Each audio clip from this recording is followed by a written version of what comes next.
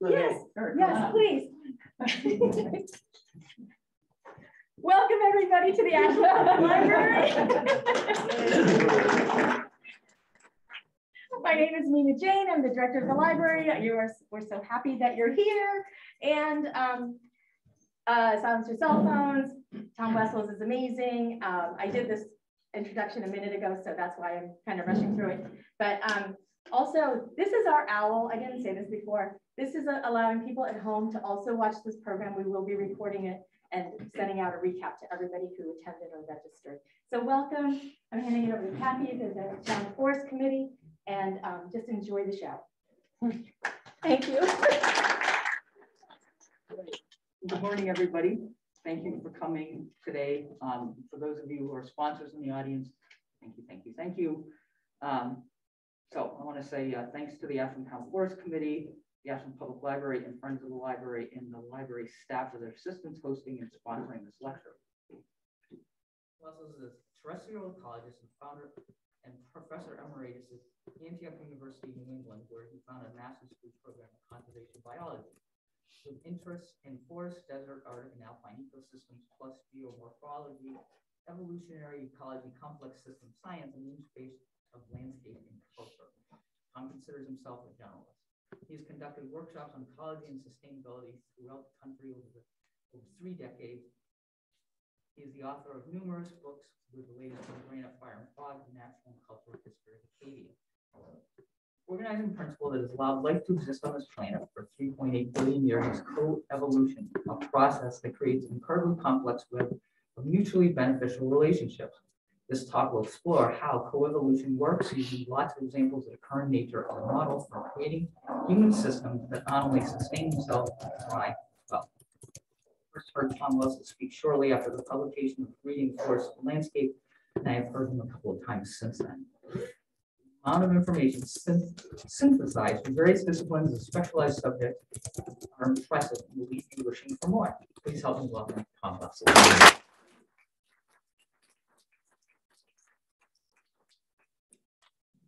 Thank you very much. And uh, I don't know, is this working? Do I need to? All right, well, I guess I'll use it since it's here. Um, so I'm going to talk about three scientific concepts. Uh, second law of thermodynamics I'm going to start with, then we get into the principle of self-organization, and then into coevolution. Coevolution is a self-organizing process, and then that will set the foundation to start looking at you know human systems and how we can do a better job of structuring ourselves to be a more sustainable um, culture, I guess I would say.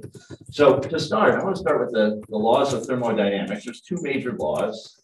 The first law is the law of conservation of energy, and it states that energy can neither be created nor destroyed. That's a pretty powerful idea because it means all the energy in the universe today is exactly what it was back almost 14 billion years ago when this all got started. None has been created, none has been destroyed. Um, but from a sustainability perspective, it's the second law of thermodynamics, the law of transformation of energy, that is much more important to look at.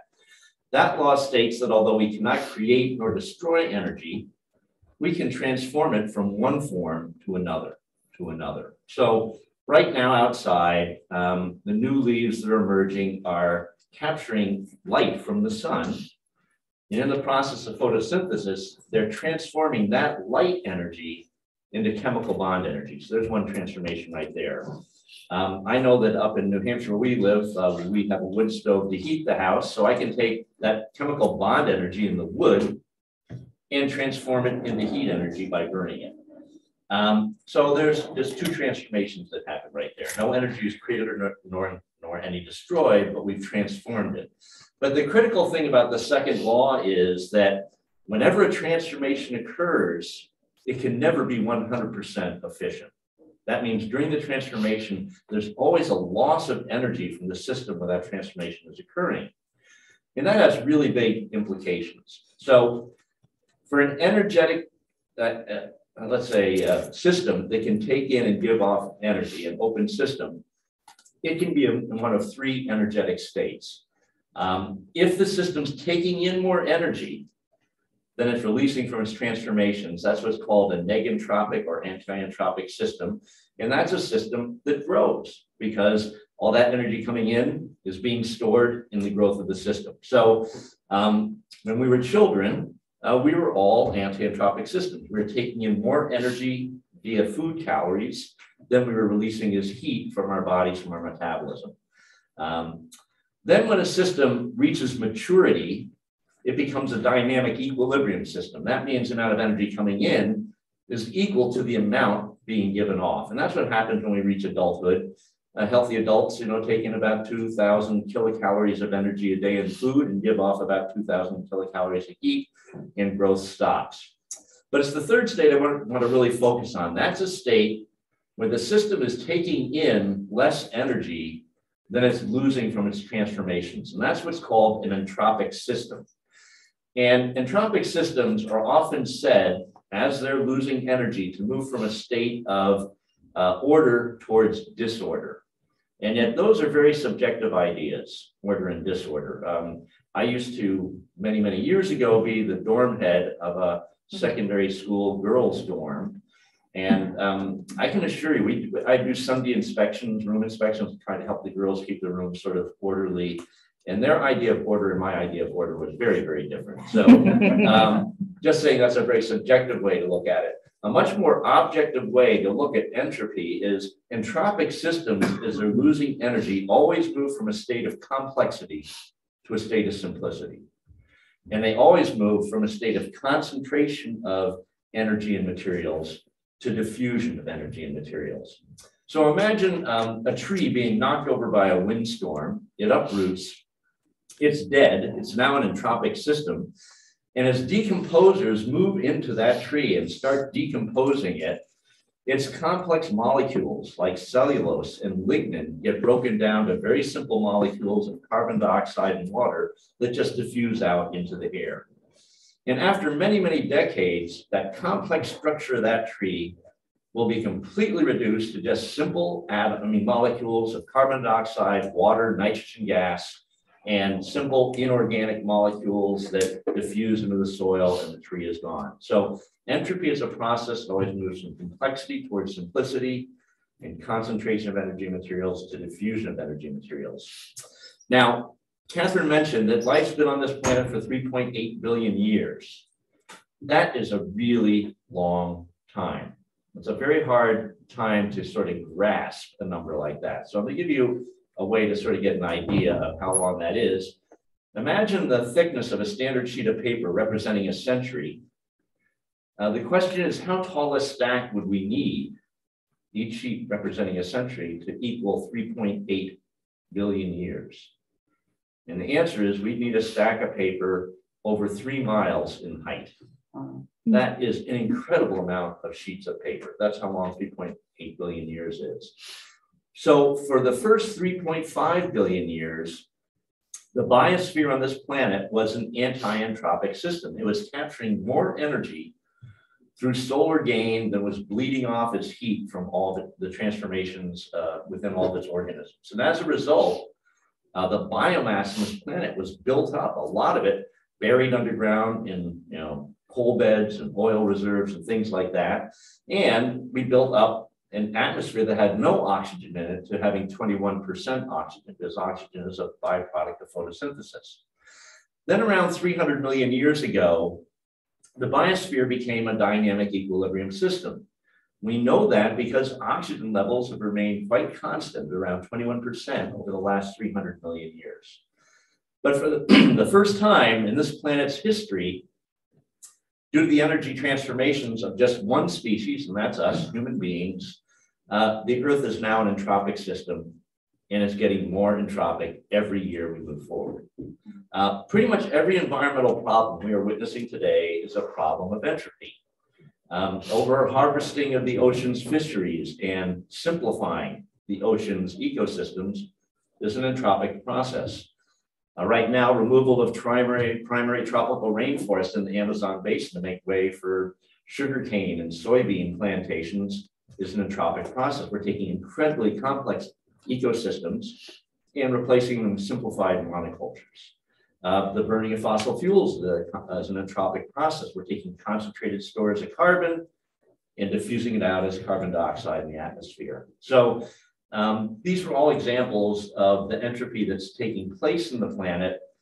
And like I said, it's happening at increasing rates every single year. And of course, we cannot continue on that trajectory because eventually um, the entropy will get to the point where it will create a feedback loop that will basically curtail our activities to continue to produce that entropy. It's not a question of if that'll happen, it's just a question of when that will happen. So the, the second law is sort of like the foundational sort of grounding scientific footing for why what we're doing right now, our trajectory is not sustainable at all and will eventually fail us. So we've got to figure out ways to really restructure how we do things. We got to become energy frugal. And you know, it's interesting, frugality and you know, that word used to be a pretty common in the American uh, vernacular. You hardly hear frugality anymore. It's something that sort of we've, we've lost. And yet we're going to have to be that way. We're going to have to really dramatically decrease the amount of energy we utilize um, to turn around the entropic cost of using so much. Um, so with that, I'd like to now move to self-organization and coevolution because they act as wonderful models of how we can restructure how we do things uh, to be a much, much more, more sustainable sort of entity. So um, for about the last 400 years, uh, Western science has been very much enmeshed in linear reductionism as a paradigm. Uh, this was very much started by Rene Descartes back in the 1600s. Descartes was enamored, enamored with machines of his age, things like water mills and windmills and wind-up clocks, machines that had parts that moved. And he started seeing everything in the world being very mechanical. Uh, even organisms like our, ourselves, he thought, well, we're really no different than machines. And he said, if you really want to understand how something you know, works, you take it apart. That's the reductionism, is reducing it down to its parts. And then you figure out the sequence in which the parts interact. And if you've done that, you've figured out the system because to Descartes, the sum of the parts equals the whole. Um, but as we moved into the late 1800s and early 1900s, there were a lot of people doing research in various disciplines, uh, disciplines like anthropology, sociology, psychology, biology. And they were finding that the linear reductionistic mode was not really helping them understand the subjects they were trying to study. And so right after World War II, some conferences were convened in New York City that brought researchers from a variety of different disciplines together just to talk to each other about what they were experiencing in their discipline. And interestingly enough, they all began to see, they were all seeing the exact same sorts of phenomena. For example, they were seeing emergent properties, things that you could not predict by just looking at how parts interacted. These were things that came out of the interrelationships that were greater than the sum of the parts. Uh, they were seeing uh, systems that could bifurcate, that could shift their mode of behavior very quickly. Um, they were seeing feedback loops. And so what this did, this brought about the development of a new branch of science called complex system science. At the time, it's called chaos theory because uh, linear systems are very predictable. You know, you have a, a, a, a wind-up clock, you know, based on how many times the gears go around, you can predict exactly where the hands of the clock will be. But complex systems aren't predictable at any point in time. Uh, and that's why they're called chaotic because you couldn't predict like five minutes from now what the system was going to be doing. Um, however, that, that, that term was sort of misnomer because if you go to large, uh, you know, sort of temporal scales, complex systems tend to be very, very conservative in their behavior. So you can't predict what they're doing at any point in time, but uh, we can predict that, you know, January is probably going to be the coldest month of the year and July is going to be the hottest. It happens like that pretty much every year. Um, so in any case, um, one of the principles that came about when scientists were working out the uh, various principles of complex system science was the principle of self-organization. And what self-organization is, it's a process that occurs in the anti-entropic phase of a complex system when it's growing. And if the, if the system self-organizes, it not only grows bigger, but it gets more complex. And that complexity is derived from the parts within the system becoming ever more specialized through time and becoming also tightly integrated in their interrelationships. such that each part doing what it needs to do for its own purposes, excuse me, creates conditions that supports the whole system. And as a result, through time, these complex systems that are self-organizing grow increasingly stable and increasingly resilient. So I'll go through that one more time. It's a process that as a system grows, it not only gets bigger, but gets more complex. The complexity is derived from the parts becoming ever more specialized through time, as well as becoming tightly integrated together. Each part doing what it needs to do for its own purposes, creates conditions that supports the whole, and these systems grow increasingly stable and resilient. So this is a process we all went through in our developmental stages early in life. Uh, we all started life as a single microscopic cell, and yet today our bodies hold about 30 trillion of our own cells. Uh, I should mention we've got about 60 trillion other organisms living in us, like bacteria and things like that. But 30 trillion of the cells in our bodies is our, our own cells. And luckily for us, that one cell just didn't multiply to 30 trillion. The cells started differentiating and becoming specialized. So today we've got 254 different cell types in our bodies, but the specialization goes even further. Some nerve cells just communicate with a sensory cell. Some nerve cells just communicate with a muscle cell. Other neurons link sensory and motor neurons. Our cells are really specialized, but luckily for us, they're tightly integrated together. Each cell doing what it needs to do for its own purposes creates conditions that support the whole. And as a result, our bodies are really stable. Our internal bodily environment always right at 98.6 unless we're running a fever. Um, you know, blood pH held very carefully blood CO2 levels, blood sugar levels, everything very, very stable. And we're resilient. If we get uh, wounded or sick, we heal. So we're a great example of the process of self-organization that took place in our bodies uh, in our early, early stages of life. So what we're going to do is I'm going to look at this process now at the ecosystem level through evolutionary time because coevolution is a self-organizing process. It works the exact same way that development in our body worked.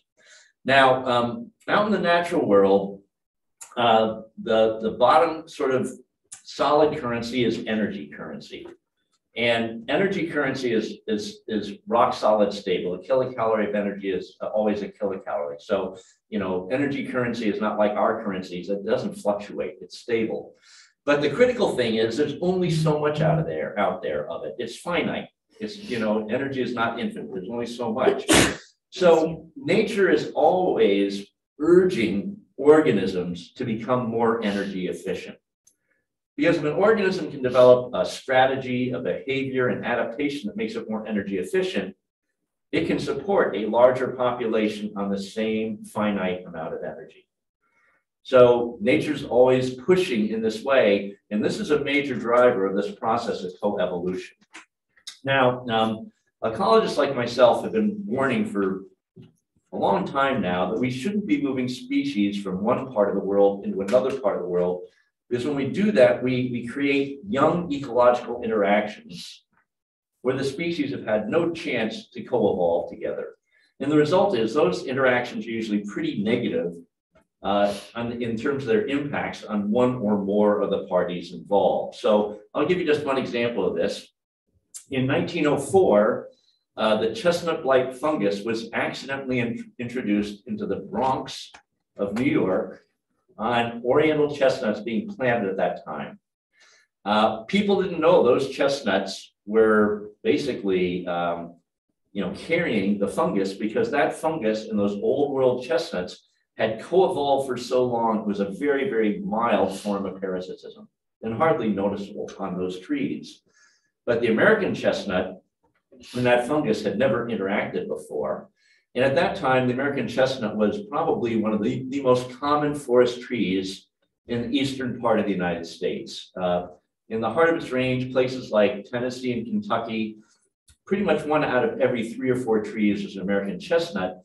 And these trees grew to immense sizes. Uh, it's hard to imagine in a deciduous temperate forest like the ones we have around here, trees of the stature that the American chestnut used to reach, because we have pre-blight photographs uh, of American chestnuts up to 14 feet in diameter.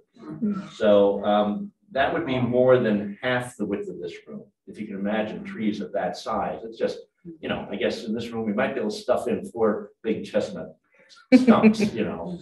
Um, it was the probably signature tree of the temperate deciduous forest, had the most edible nut of any tree in the temperate deciduous forest. It only took about 30 years for that fungus to escape out of the Bronx and almost completely eradicate the American chestnut.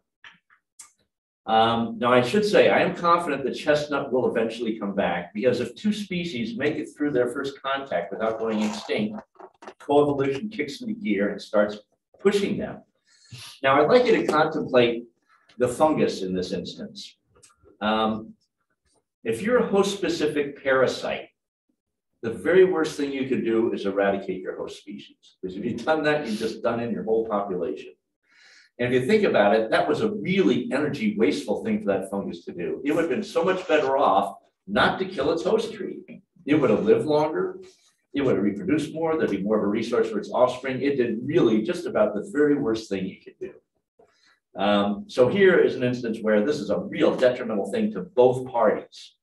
But like I said, if two species make it through that initial contact, coevolution kicks into gear and can push a relationship like this one, which is pretty much outright predation, all the way up to a um, obligatory mutualism where both species have to interact to survive and they both benefit.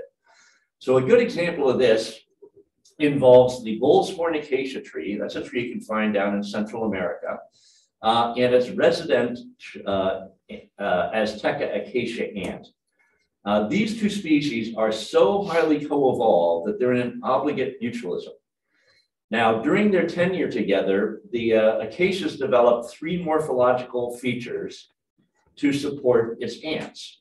The first is the thorns that used to ward off herbivores have become big and swollen and pliable, and the ants drill into them and hollow them out, and that's where they, they raise their young. Secondly, on every leaflet tip is a little globule called a Beltian body, the ants can go and harvest those. That's where they get their nutrition and they'll grow right back again. And then finally, on every leaf stem is an open nectary or sap well where the ants can go and drink sap, and that's where they get their water and their sugar, uh, carbohydrate, energy resource.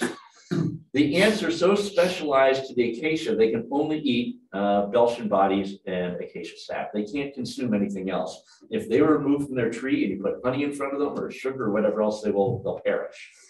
But in return, they give the acacia the most advanced plant defense system in the world.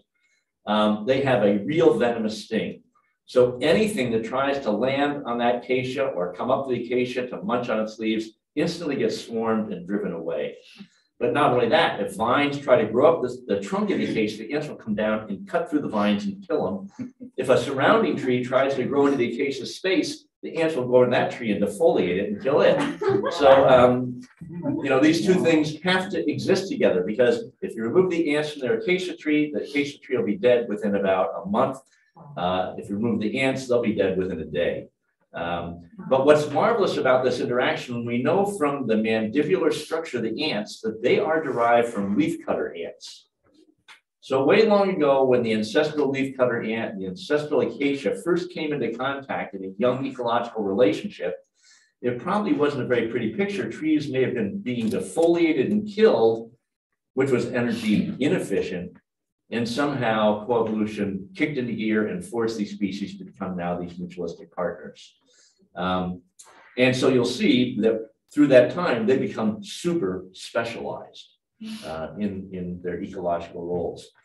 Now, another example where we can see this process occurring of creating specialization happens uh, via interspecific competition, competition between members of different species.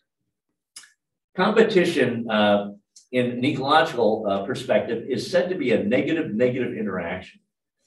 Both individuals competing being harmed because they're losing energy in their competitive struggles they would be much better off if they could figure out ways to coexist without competing. They get an energy boost. So this happens through a process that's called niche separation. Um, a niche is sort of the total ecological role of an organism. And niche separation is for organisms to change their niches to remove the overlap that's creating the competition. So this can happen through what's called, for example, temporal separation, where species are active at different times. So owls at night, hawks during the day.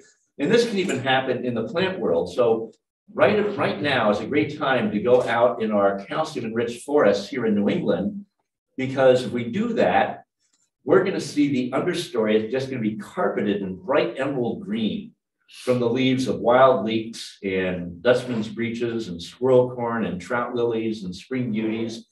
All five of those vernal wildflowers are said to be vernal ephemerals because they grow up in April, they do all their photosynthesis in April into early May, and then when the canopy leaves come out, they die back down below ground, and then a whole second group of plants come, come up, the uh, you know, blue cohosh and maidenhair fern and baneberry and things like that. And it makes our understories of our calcium enriched forest the most species rich in terms of herbaceous plants of any forest we have, because we have these two groups that are temporally separating their niches so that they do not compete. Uh, another way this can happen is through what's called microhabitat separation, where species can be in the same habitat, eating the same sorts of food items, but they specialize in when they're going to forage. So, for example, our black-capped chickadees will forage on insects on twigs and branches, and our white-breasted nuthatches can be feeding on the exact same tree at the same time, but they're specialized to forage just on the trunk. And in this way, they do not compete because they've separated out where they forage. And again, because of that, they're becoming more specialized in their ecological roles. Now, the last example I'd like to give uh, involves, uh, let's say, a wildflower meadow around here. And the question is, how many different species of insect pollinators do we have pollinating that meadow from this time of year when flowers are first coming into bloom all the way through into November when we still have asters and things like that in the bloom. And we know that it'll be well over 1,000 different insect species over the whole uh, blooming season that are working there. Uh, here in Massachusetts, we've got over 270 species just of bees that are pollinating. But then we've got all these butterflies and moths and flies and beetles and ants. And so, you know, well over a thousand species doing that job. And that builds up an incredible amount of what's called repetition of function. And in all the major functional roles we see out in the natural world, we don't have a handful of species doing them. We've got thousands of species doing them. So um, I was doing a, a, program down at the Oak Spring Foundation uh, probably summer of 2019.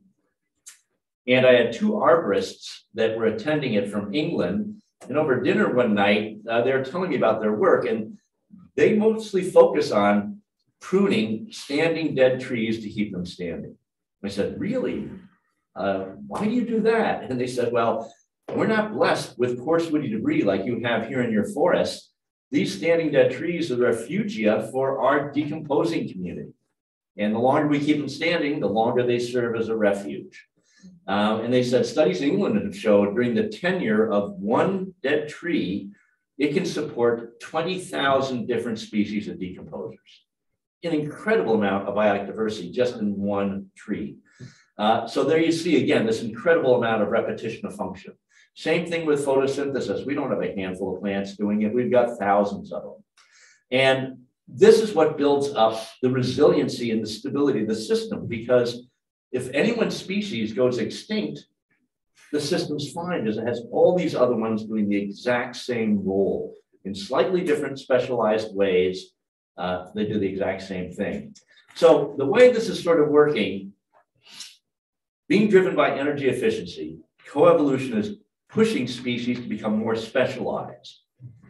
As they become more specialized, their ecological roles or niches shrink, which means through time, ecosystems can support more and more and more species, building up that critical repetition of function and building up the resiliency and stability. So very much a self-organizational process. Um, so one way to think about this is that self-organization is a process that also decentralizes critical functional roles. whenever we move the opposite way towards centralizing critical roles, we're pushing the systems towards instability and lack of resiliency. So let me give one example of this. Um, the majority of uh, fruits, vegetables, and nuts grown in this country are grown in the Central Valley of California. Because of overuse of pesticides there and removal of uh, pretty much all native uh, plants, uh, pretty much all the pollinators have been extinguished. So we're down to just one species pollinating all those crops, and that's the honeybee.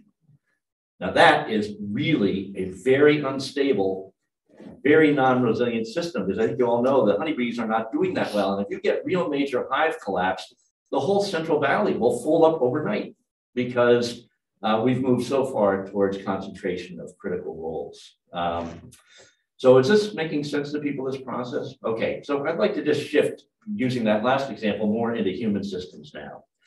Um, my guess is that Western scientists were probably the last people to understand this principle of self-organization. I think uh, indigenous people had a good sense of it. Uh, and actually was even written about 200 years before Western scientists uncovered self-organization. It was actually written in a book published in 1776 called The Wealth of Nations by Adam Smith. And if you know, if you don't know who Adam Smith is, he's sort of considers the father of modern economic theory. Now, um, Smith was working in economies that were pre-industrial. These were merchant economies.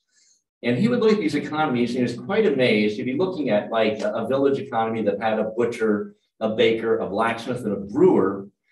Uh, and without anyone orchestrating it, they were developing interrelationships that were mutually beneficial. He called this the uh, invisible hand of the economy. There's no one was orchestrating it. But you know, the uh, butcher would buy knives from the blacksmith, the blacksmith would buy meat from the butcher. They're both supporting each other. Uh, even though their interest was in their own business, they were actually doing things to support other businesses. So they were integrated with other merchants, creating this more resilient system. Um, so, but if you look at that, that is a very self-organized model. You have these specialists integrated together in mutually beneficial ways. But if you look at our economy today, we have moved way far away from that. Um, I don't care what sector you examine, whether it's you know pharmaceuticals, financial, energy, agriculture, uh, you know, media, retail. You're going to find that the bulk of the capital is going through a, a handful of very large corporate entities. And these large corporate entities are not specialists. They tend to be generalists. So look at uh, an Amazon or a Walmart in the retail sector. They're selling everything. Uh, so here we have now concentration of critical functional roles in a few entities that are generalists, and they're not really interested in integrating with others in their sector to create beneficial interactions. They just assume dominate the sector if they could by competition, competitive exclusion, uh, mergers, acquisitions, whatever else. So our, our system has moved away from self-organization towards concentration or centralization of major roles. And we're starting to see the impacts of that. Um, we're, we're seeing it with supply chain dynamics that are not working. And I guess in China right now, they're getting really bad. And that's going to bubble over here pretty soon to make our supply chain dynamics uh, worsen quite a bit than they are right now. Mm-hmm. Um, so at its core, uh, self-organization is a really good scientific uh, sort of support for the idea of relocalizing and re-regionalizing our economies to make them more resilient, to have many, many smaller, more specialized businesses integrated in ways that they're supporting each other. Uh, it's a great scientific rationale for doing that, from moving away from this large sort of systems we have today that are fragile uh, because they're not self-organized. Um, so that being said, um, I'd like to give some more examples of, of how this works. Um, so, and I should say, I guess, before I do that, is the reason I think that we've, we've made this transition from the type of economic system Smith was looking at to one we have today is because of the advent of um, flexible, economically cheap energy resources in the form of electricity and petroleum. Is what that allowed was mechanization. Uh, in an economic system, uh, economic efficiency is basically measured by how much product or service you can produce per unit of human labor. But human labor is the highest cost of business. So if you can mechanize and decrease your workforce, you can dramatically increase economic productivity and also efficiency and profit. So by having these energy resources where you can mechanize, I think that's what shifted the dynamic. But once you go into mechanization, uh, you're becoming very energy inefficient in the way a business works. It's using lots and lots of energy. And it's not just the energy that's driving the machines, it's all the embedded energy in the machines. A lot of us don't understand embedded energy, but there's tons of it there. I mean, how much energy does it take to extract the materials, the raw resources out of the ground, uh, process them, build them into parts, build machines, ship the machines out, huge amounts of energy to go into that process. So let me just give an example of, of this. Uh, I'm going to contrast two different businesses that sell hamburgers. So um, over in Greenfield, Massachusetts, there's a brew pub called the People's Pint. It was started by one of my former students. He came to Antioch um, to study uh, solid waste management. But while he was there, um, he was very much into composting and growing organic vegetables and making beer. And a friend of his also made beer. And they were talking one night saying, you know, there's no place in Greenfield where people can really just gather socially uh, for a bite to eat and maybe have some beers. And so they decided they're going to start this People's Pint, make it more like an old world pub where it'd become a community gathering spot.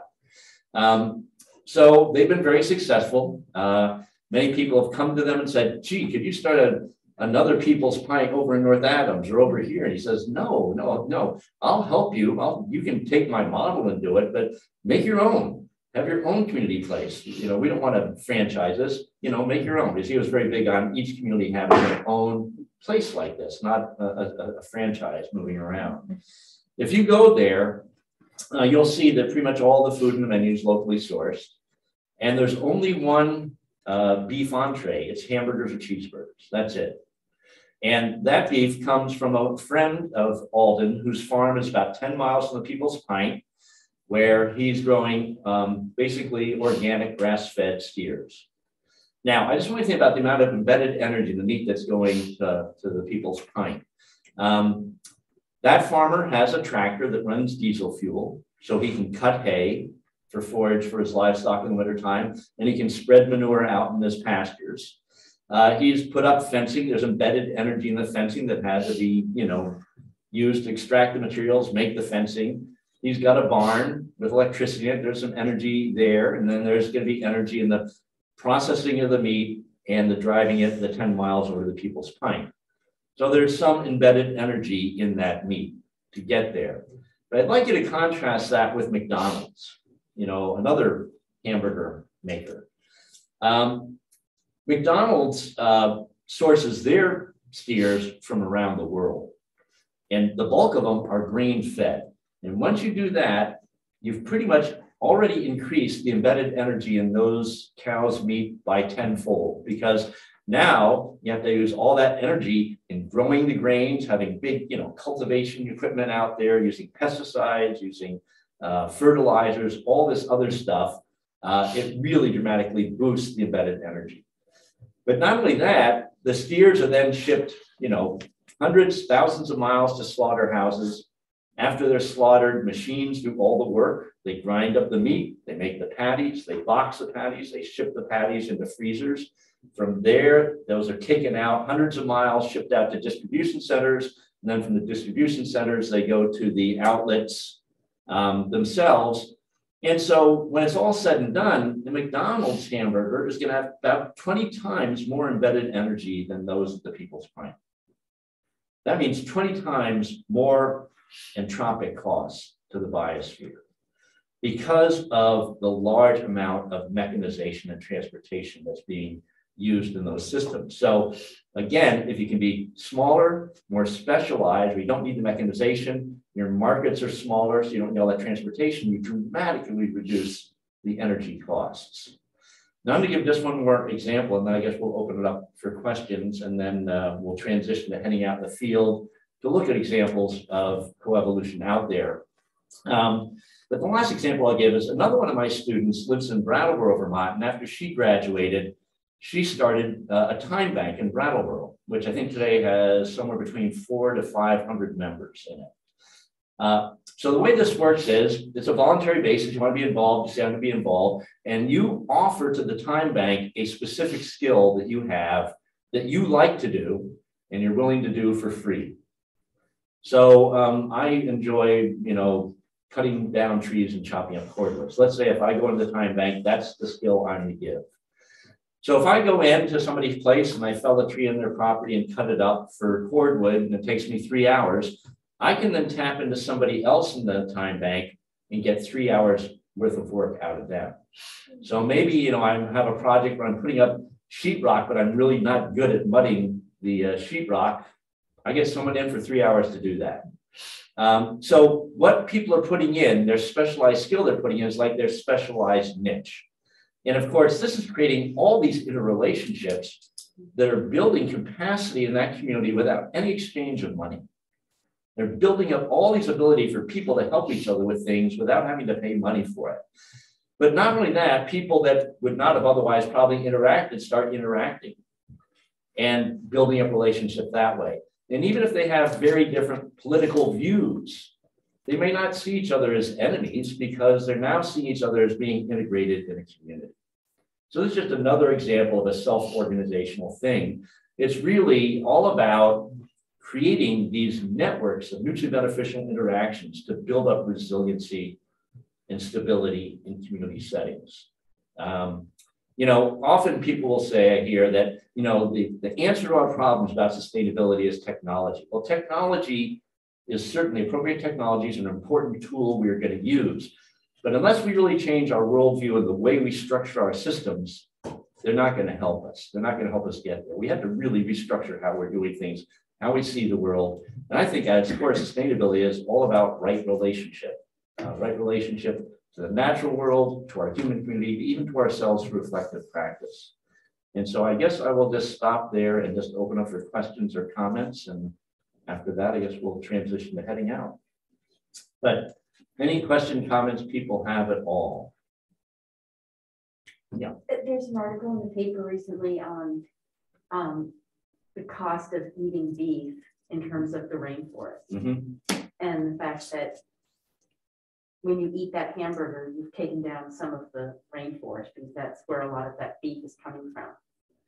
Um, I'm wondering what can be done to make people more aware of the cost. I thought the thing was so interesting of the brew pub and Mhm. McDonald's. Helping people realize how damaging this is. It's, it's hard because, you know, um, I think we're getting into a, a culture and, and, and maybe this is a lot due to social media, I'm not sure, where people are now getting information in sound bites. This stuff takes some time to explain and tease out. And we, I, it's hard because we don't have a populace that is a lot of the populace that's interested in that. They, Yeah. they don't, they don't have the time. They don't, you know. So I, I think it just has to be sort of modeled, not by talking about it so much, but by creating models where people can start to see, well, gee, that seems to be working over there. And then maybe they start to clue into this. I think just telling people if they're not searching already for different ways of looking at things, it's gonna be hard. Just, we're just, we're in a, we're in a society right now where, uh, you know, people get entrenched in their own ideas and uh, often look at things and are definitely are not versed in complexity. These things become either black and white, you know, and there's nothing's like that. Complex systems don't operate like that. Um, so it's hard. But you're right. Uh, beef is a real problem. It's not just because of that. You know, uh, it's the sec- second major source of methane in the planet uh, is coming from cows. And, uh, you know, that causes a lot. So you're getting a double whammy in terms of um, global climate change because you're losing forests that can be carbon sinks and you're also pumping up all this methane. So it's a big, big issue. I, I work in- in landscaping, uh, with, with Catherine. Um, and one of the things that, um, that I really try to do is like, that, you know, I'll, like, I'll interview with the customer and they'll say, oh, I want a pollinator garden and I want this, I want that, and, and I'll be in there and I'm working away and next thing I see a pest control, you know, Mhm. come up and it's like, you know, what do you? And originally way back, I would get really angry and be like, you know, I'll- but now I've, I'm, I've, I've more towards, lean towards education because it's ignorance, not, you know, you know, people see a bee and they just like, you know, freak out and snakes and, you know, all that. And I have uh, this one, and I try to figure out where they're coming from, their background. And I have this, uh, this customer from India and, and she's, comes here and she's afraid of everything and she, you know, she freaks out. and, I'll pick it up and, you know, snakes and stuff and, and show her. And She had a salamander in her house from a thing she brought in, and you would have thought it was Godzilla. Um, But showing her that, you know, it's in, in educating her. And then she's now having her kids come out and touching the things with me and, you know, and she's comfortable. And it's just, I think education and, uh, and also not attacking somebody, what somebody's doing. When you say to somebody, you know, oh, do you know that this is what you're doing? It just, it's a big turnoff. You know, instead of just offering alternatives, like I love that, you know, what your examples and I, I think, because I mean, some of the stuff that we see, it's like, it is, it's mind bending. Um, you know, and when you, I'm like really looking into soil regen right now and, and the, uh, what's happening when, you know, I, I know, uh, heavy equipment, they strip and process the soil, we're depleting the soil of all the microbes, you know, everything that we need. Okay, how do we get people to go back and realize you don't have to stop the rainforest? You're, you know, you need to focus on your backyard. You need to see what you're doing and what you can, and everybody makes their little difference will make a collective change. Yeah, very good. So when you talked about the tree and the ant um, and that coevolution and the co-relationship, um, is that something that happens pretty quickly or does that take eons to sort of create? Well, some of these things can happen pretty quickly. Usually that happens when you're looking at microscopic organisms. They can create mutualisms pretty darn fast. As you get into more complex organisms, it takes a lot more time. So um, how long, I don't know. But, you know, generally, we're talking about millennia at least. And maybe millions of years, but, you know, uh, so for example, um, I'm confident that pretty much all our trees currently suffering pathogens will probably be okay, but it may take a thousand years for coevolution to work these things out. So as an example of that, five thousand years ago, eastern hemlock was throughout its current range in uh, eastern North America. And then from five thousand to four thousand years ago, there's no pollen record of hemlock being present at all. So we know that something happened to the hemlock and completely took it out. Probably very similar to what happened to American chestnut. But then about a, after about a thousand years, boom, hemlock was back. So, um, you know, that's what I'm saying, these co-evolved interactions probably take millennia and longer. To get up to a mutualism like with the ants and the acacia, probably quite a bit longer, would be my guess. Wow. Um, But yeah, I think, going back to your comment, I think it's really pertinent, the way you were uh, explaining that. Um, I remember I was uh, involved in the Switzer Foundation. We had a fellow working with vineyards out in California. And he came across this one vineyard owner who um, had a uh, barn owl nesting in his processing facility. And it really upset him. This owl was in there. And he was trying to figure out how he's going to get rid of this owl. And one day he comes to work and he finds a cough pellet on the footstep going into the door of the processing facility. He looks closely at it and he sees it's full of fur and, and bones. And he, he then he went to, to ask a ornithologist about this. Said, "Oh yeah, that's that's just mouse, you know, carcasses. That's what the owl's eating at night." And he goes, "Eating mice because mice are one of his biggest problems." It's all of a sudden it's like, huh, gee, maybe, maybe I can use these owls to help me out. And so he got someone over there, and they said, yeah, let's put up a bunch of perches out all throughout your vineyards, and we're gonna put up nesting boxes out there. And in, in a couple of years, he had something like, uh, twenty pairs of nesting barn owls out there, making huge inroads on his mice. So all of a sudden, he thought, holy cow, working with nature is really profitable. Um, And he said, he said to all his crew, if you can think of some way that we can work with nature that's gonna, you know, help us, let me know. So someone said, well, you know, um, we're gonna be putting this other section of the vineyard in that's sort of bowl shaped. I think we ought to put like clay at the bottom of that bowl so that when it rains, water will collect there. And then we can use that water in our irrigation of the vineyard. But not only that, since we use sulfur to fight fungi, if it rains, we always lose that sulfur. Well, it's gonna run downhill and pool in there and it floats and we can skim it off and reuse it. Sure enough, they did that and that worked. So Yeah.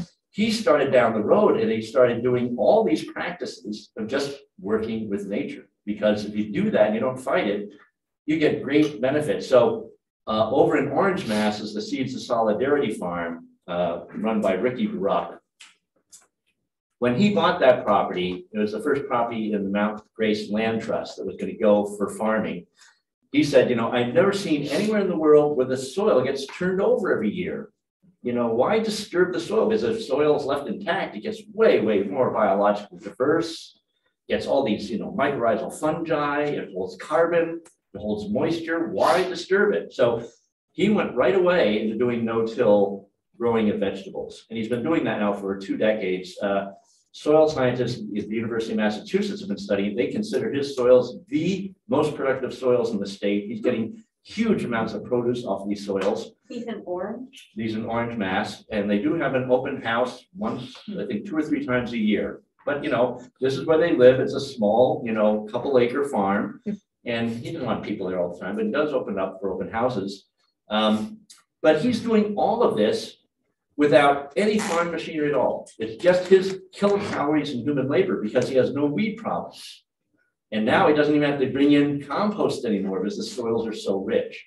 And so um, he's just basically planting seeds and harvesting, and he can grow huge amounts of produce with just his, his human labor because he's letting nature do it all.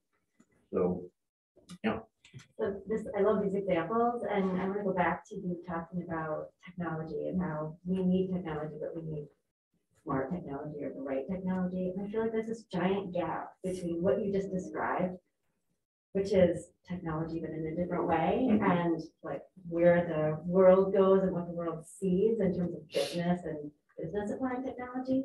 They're like siloed. How do you, in its relationships, like how do you start pulling those together? Yeah. well, I think it's, that's what I'm saying, you know, I think that technology, a tool that we can use, but we really have to really restructure how we're in relationship. Uh, you know, our, our worldview is way off. I mean, we have, you know, we have these notions of control.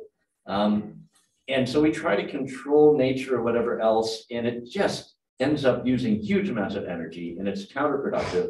It's more or less, no, not control. Let's just work with these natural systems. They, you know, they figured it all out. We don't, you know, we can't improve on it. Um, but it means really shifting the whole sort of worldview. And it also means, you know, what we do is not about profit. It's about sustainable human communities. That's, that's really the sort of the thing we should really be focusing on. Um, and healthy natural systems, because we have those, we'll do much better as well. Yeah, uh, your, your previous comments about, um, you know, tilling and, and soil disturbance just just brought something to mind that I, I've read over the past couple of years, I've seen, I've seen certain articles that um, note that, um, plants, in- as part of their normal growth uh, processes, um, actually take about half of their total photosynthetic product in terms of you know, complex carbohydrates and, and, you know, consider it as energy into uh, root exudates, into complex carbon compounds that they kind of exude, uh, ooze into the, into the soil. And it, it, that's a fact that doesn't seem to be accounted for very much anywhere. I, I was watching the PBS special a night or two ago, and they were talking about a whole range of things that we might do and might consider to sort of, you know, mitigate, you know, global warming. And, you know, amongst those, you know, geoengineering, which is kind of scary, and then you know, growing more trees. And then whenever they refer to growing more trees, they always seem to just refer to the above ground mass of, you know, how much carbon is in the actual wood. And I've never seen any of those articles or programs like refer to this carbon going into the soil through the roots. Yeah. And I don't know, if do you know, is, is that true across different kinds of plants like grasses, Yeah. perennials, trees? Oh, it is. It's very much true. And like, so for It example, like a around huge here. Thing that no one seems to know about. Yeah. Um, around here, when our forests reach about eighty years of age, half the carbon is in the ground. And then the other half is all the biomass you see above ground. After that, there's more and more carbon underground. So by the time we get up to an old growth forest, about sixty percent of the carbon's in the ground. And it stays there. So these are huge, huge carbon sinks. In, Um, in the ground, in the form of these Yeah, compounds yeah. in the soil, not just like the mass of the roots. No, no, yeah, it's, it- it's all down there. And, um, but not only that, it used to be thought when trees reached about eighty years of age, they slowed down their growth rates. Uh, that's why in forestry terminology, you know, trees getting over eighty years of age are called over mature. That's when they should be harvested because they're slowing their growth. Um, in fact, that's not the case at all. Studies happening now at the Harvard Forest, studies done by Bob Leverett, who's like an old growth guru in New England. Um, they're both showing that trees like red oak and white pine continue to accelerate their growth rates up to two hundred years of age. Um, they are taking like between, let's say, 150 and 200 years, they're taking way more carbon in than a tree between 50 and 100, and way, way more between a tree of, let's say, 20 and 50. They're taking in huge amounts, and a lot of that is getting sequestered in the ground. These studies are showing that our biggest single mitigating factor against climate change would just be to let our forests age.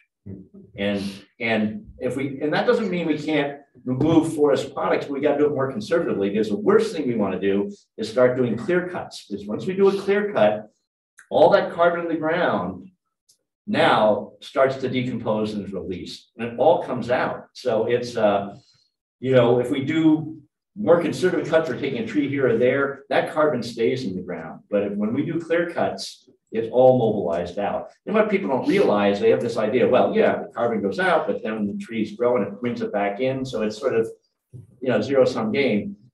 It's not like that. It takes 70, it, takes a century to pull 70% of that CO2 back out of the atmosphere. It takes a thousand years to get it all out.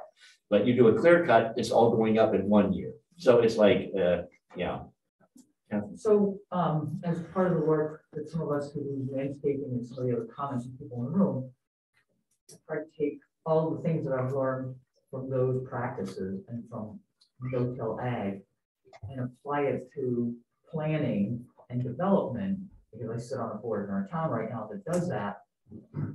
I'm using tools to explain what you're saying, and what we all understand to the public and to the planners and to the administrators and also developers. Because my job in that function is also as an educator and they, they say, oh no, it's much cheaper to go in and clear cut, whereas we're, some of us are advocating, no, no, no, keep those trees, keep all the shrubs in the understory and the ground cover, because that is gonna make your places actually worth more money, sell faster, rent faster, you retain your tenants longer, you know, the rest, et cetera. So I'm just curious if you have more tools for us out here to Um, you know, I you're, you're on the right track. I don't know if I have the tools, but, you know, it'd be great if you'd had uh, a committee in town that could really just spearhead this stuff and present these things as part of the discussion process, because um, make it a bit more formalized possibly. Uh, but, you know, there are, you know, it isn't well known, but, you know, you could get someone from the Harvard Forest. They're doing all these studies on carbon sequestration in the soil, on trees and things. Um, you can get, they, they come out and talk to public and, and, and planning sessions and stuff.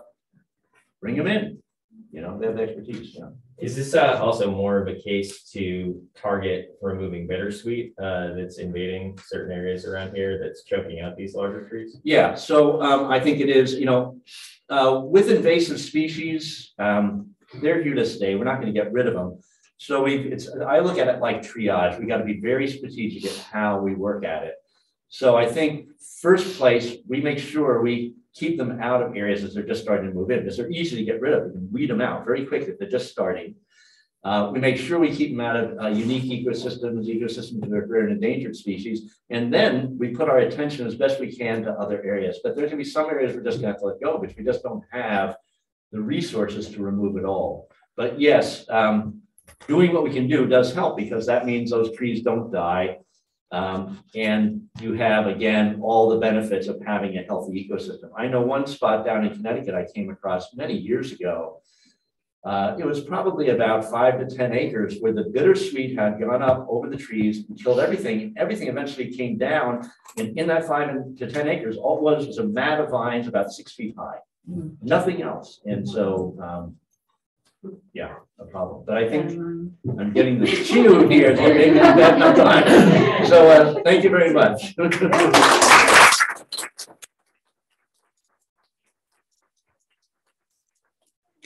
you all for being here and for this amazing conversation that is um, just part of the conversation. We just need to keep, keep having it. Um, Also, I was on mute earlier, so I might do my introduction again. Sorry. Um, But I will- hope you have a wonderful day. We do have some information about upcoming programs at the library in the back uh, table over there. And Tom is here with some, uh, I think he's signed books earlier, but um, are you heading out now? Yeah, we're heading out. Getting out, so um, you might have to follow him somewhere else to get a science book at this point. But thank you, Tom, so much. Thank you all for being here, and I hope you have a wonderful day. Thank you.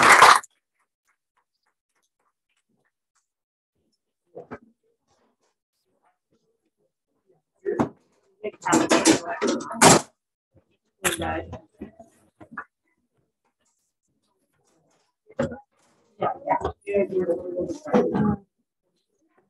to the forest from here, right? Yes, okay. I believe so. Thank you for bringing him. Oh, absolutely. It wasn't me